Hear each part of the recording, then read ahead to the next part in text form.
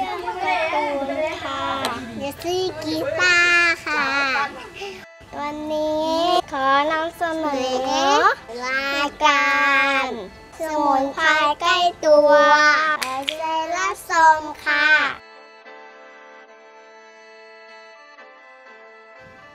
สวัสดีครับ ท่านผู้ชมทุกท่านครับ ช่องเด็กบ้านสวนขอนำเสนอรายการ สมุนไพรใกล้ตัว วันนี้ขอนำเสนอสมุนไพร เปล้าน้อย เปล้าน้อยสมุนไพรสรรพคุณรักษาโรคกระเพาะอาหาร ช่วยย่อยอาหาร ขับพยาธิขับโลหิต และรักษาโรคท้องเสียครับ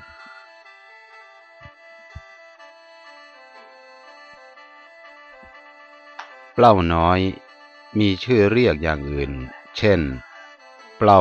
ท่าโพ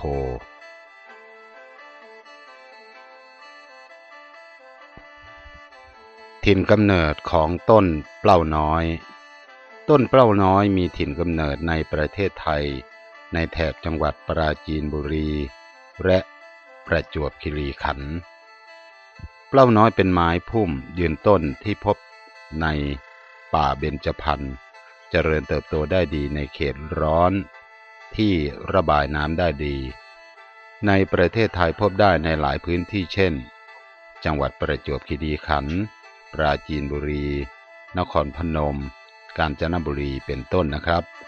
ต้นเป้าน้อยเป็นไม้ที่ทนแล้งได้ดี โดยในช่วงหน้าแล้งจะมีการผลัดใบ และจะเริ่มสร้างตาดอกในช่วงปลายฝนต้น ฤดูหนาวครับ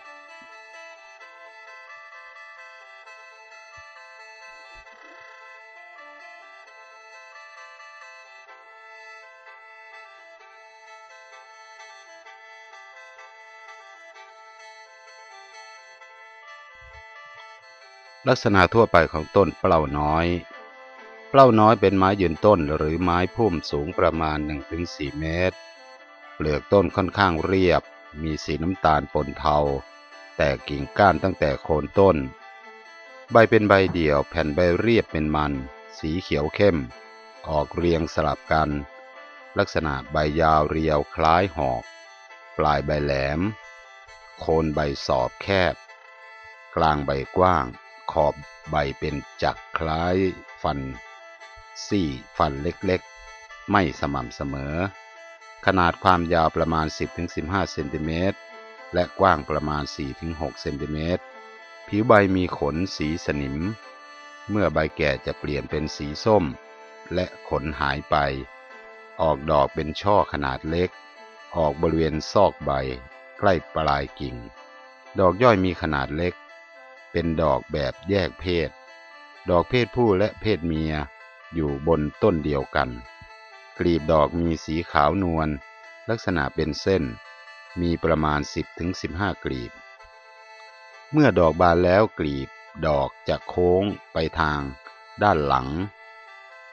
ผลเป้าน้อยมีลักษณะเป็นทรงค่อนข้างกลม แบ่งเป็นสามภู มีรอยกลีบ เลี้ยงติดอยู่ที่ก้นผล เมื่อผลแห้งเปลือกผลจะมีสีน้ำตาลและแตกได้ง่าย ในแต่ละภูจะมีเมล็ดอยู่ภายในหนึ่งเมล็ด เมล็ดมีสีน้ำตาล ผิวเรียบขนาดกว้างประมาณ 2-3มิลลิเมตรและยาวประมาณ 3-4มิลลิเมตรและมีลายเส้นสีขาวตามแนวยาวหนึ่งเส้น เปล้าน้อยเป็นพันไม้ที่สามารถพบได้ตามป่าเบญจพรรณ จริญเติบโตได้ดีในเขตร้อน ที่เป็นดินร่วนปนทราย ระบายน้ำได้ดี นิยมขยายพันธุ์ด้วยวิธีเพาะเนื้อเยื่อ หรือ รากไหลเนื่องจากจะได้พันธุ์แท้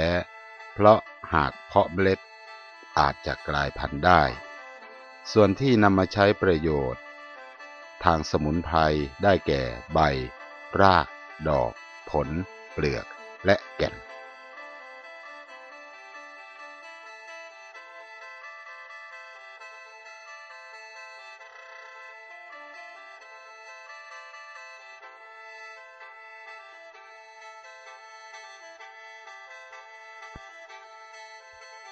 สำหรับสรรพคุณทางยาของเปล้าน้อย เปล้าน้อยเป็นสมุนไพรสรรพคุณอันโดดเด่นที่เป็นที่รู้จักของคนทั่วไปก็คือ การใช้รักษาโรคในระบบทางเดินอาหาร โดยเฉพาะในโรคกระเพาะอาหาร เนื่องมาจากใบเปล้าน้อยมีสารปลาโนทอนซึ่งมีฤทธิ์สมานแผลและกระตุ้นการสร้างเนื้อเยื่อทำให้แผลหายเร็วขึ้น อีกทั้งยังช่วยลดการหลั่งกรดในกระเพาะอาหารได้ดีด้วย สรรพคุณอื่นๆของเปล้าน้อยเช่น ช่วยย่อยอาหาร ขับพยาธิขับโลหิต รักษาโรคท้องเสียเป็นต้น ใบใช้บำรุงธาตุแก้โรคกระเพาะบำรุงโลหิต อีกทั้งในใบยังมีสาร เปลาโนทอนซึ่งมีฤทธิ์สมานแผลในกระเพาะอาหาร กระตุ้นการสร้างเนื้อเยื่อทำให้แผลหายเร็ว ลดการหลั่งกรดในกระเพาะอาหารช่วยรักษาเกี่ยวกับโรคในทางเดินอาหาร ใบและรากช่วยแก้อาการคัน รักษามะเร็งเพลิง รักษาโรคผิวหนัง รักษาโรคกลากเลื่อน แก้พยาธิรักษาโรคลินสะดวงทวาร แก้ไอ เป็นโลหิต รักษาโรคท้องเสีย บำรุงธาตุและใช้เป็นยาปฏิชีวนะ ดอกช่วยช่วยขยับขับขับพยาธิฆ่าพยาธิได้ ผลแก้โรคน้ำเหลืองเสีย เปลือกช่วยย่อยอาหารรักษาโรคท้องเสีย บำรุงโลหิตประจำเดือนและบำรุงธาตุแก่นช่วยกระจายลมและขับโลหิต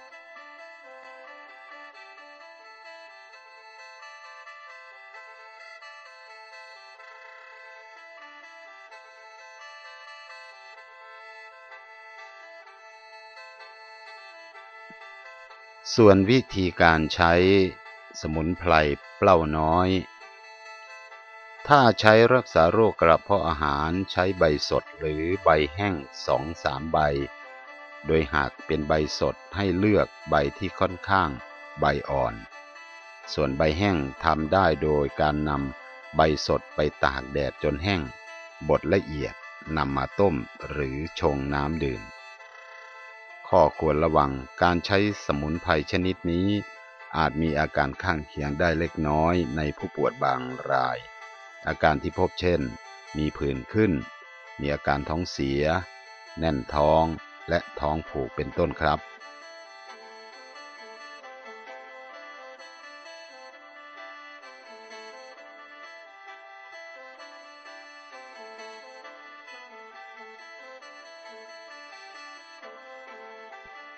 สำหรับวิธีการปลูกเปล้าน้อย เปล้าน้อยเป็นต้นไม้ที่มีความสูงปานกลาง สามารถปลูกเพื่อให้ร่มเงา และมีประโยชน์ทางสมุนไพร ขนาดพื้นที่ที่ต้องการสำหรับหนึ่งต้นคือประมาณ2คูณ2เมตร หรือเล็กกว่านี้ได้ ไม่มากจะทำให้ได้ทรงพุ่มที่กำลังดี สำหรับการเตรียมหลุมปลูก หลุมปลูกไม่ต้องทำเป็นหลุมขนาดใหญ่ รองก้นหลุมด้วยปุ๋ยคอกหรือปุ๋ยเคมี อย่างใดอย่างหนึ่งหรือทั้งสองอย่างก็ได้ ถ้าใช้ปุ๋ยคอกอย่างเดียว ให้ใส่มากขึ้นอีกเล็กน้อย เพราะปุ๋ยคอกเป็นทั้งอาหารและช่วยดูดความชื้นให้ดินร่วนซุย ช่วยให้ต้นกล้าเปล้าน้อยไม่ชะงักการเจริญเติบโตหลังลงย้ายลงปลูก การให้ปุ๋ยและการตัดแต่ง การให้ปลูกปลูก การให้ปุ๋ยจะให้เฉพาะในช่วงที่มีฝน ขณะที่ดินมีความชื้น เพราะปุ๋ยจะสลายง่าย ต้นเปล้าน้อยจึงนำไปใช้ประโยชน์ได้เร็วขึ้น หากดินแห้งมากไม่ควรให้ปุ๋ยเพราะต้นเปล้าน้อยจะดูดซึมธาตุอาหารได้น้อย โรคและแมลงศัตรูพืช เปล้าน้อยเป็นพืชที่ ไม่มีแมลงศัตรูพืชและโรครบกวน